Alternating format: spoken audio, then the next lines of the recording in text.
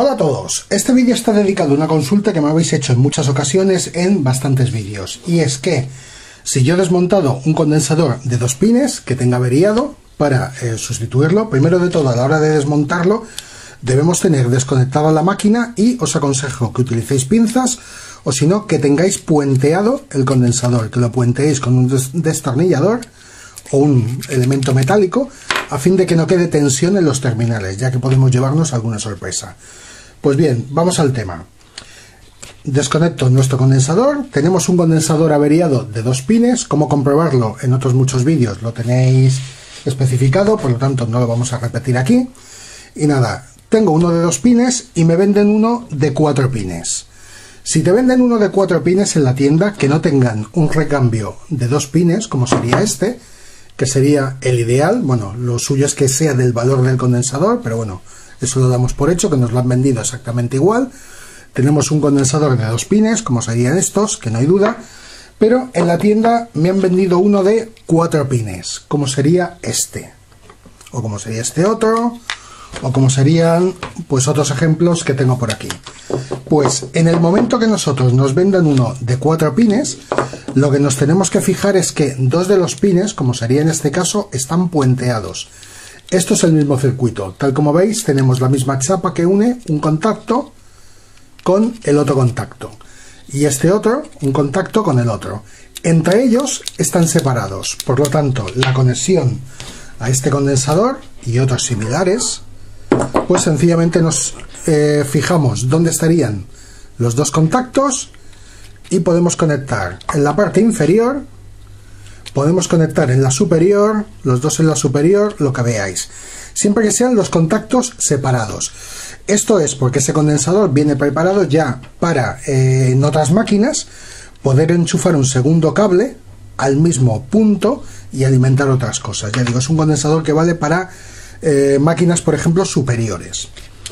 Pues lo dicho, en estos es fácil identificar, ya lo vemos, conectaríamos en los dos laterales, fijándonos, fijándonos dónde está el metal. Pero si, por ejemplo, el que nos han vendido es un condensador de este tipo, donde no podemos apreciar si hay unión entre un terminal, si es entre los laterales, si es entre uno y el otro, que sería lo más normal, pues podemos caer en el error de conectar así nuestro condensador, por lo que nos pegaría una explosión la máquina. Nos saltaría el diferencial, podríamos averiar algún elemento de la máquina. Lo suyo sería conectar este condensador en estos dos terminales laterales. Pero para estar seguros, pues vamos a probar el mismo. Para probar el mismo es tan sencillo como comprobar dónde irían los dos terminales conectados.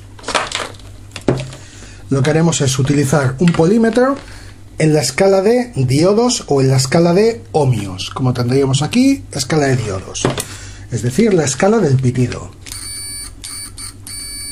Nos marcará 0 ohmios si cortocircuitamos las puntas.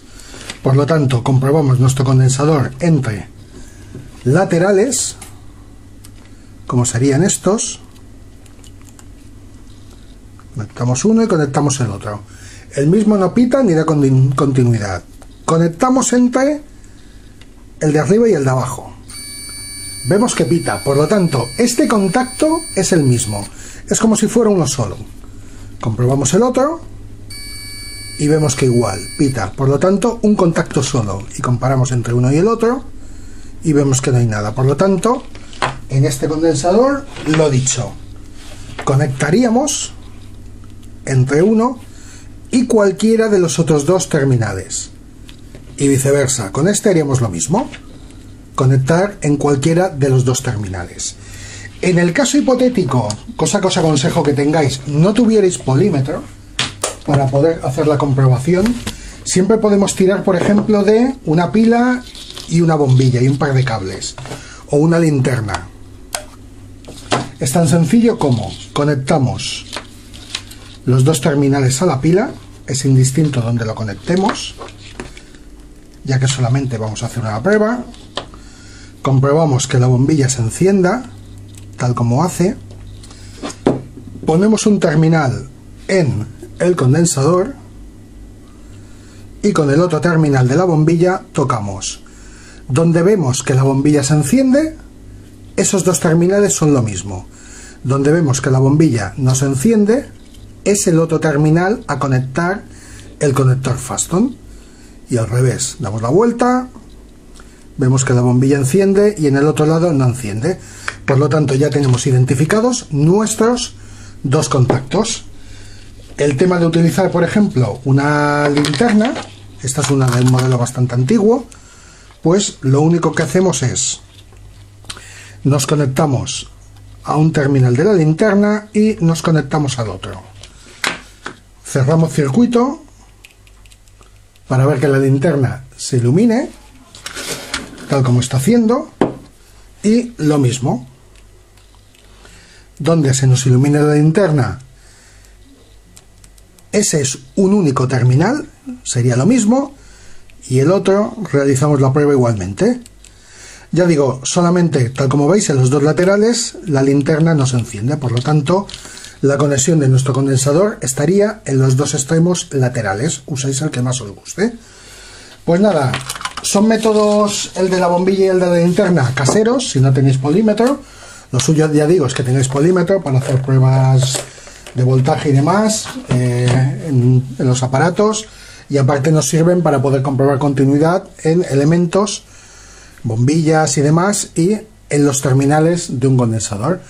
Pues nada, espero que os haya gustado, que os sirva de ayuda, que quede aclarada la duda ya para próximos vídeos. Un saludo para todos.